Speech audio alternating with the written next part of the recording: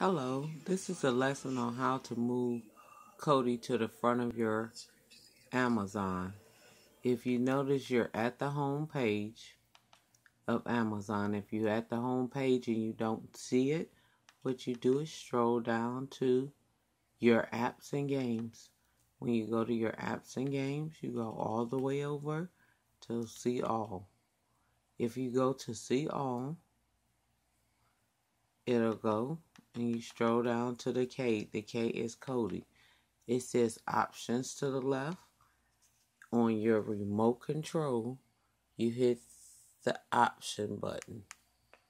You see where it says option, then it says move to the front. You move it to the front, it'll go to the top. That's your lesson on how to move Kodi.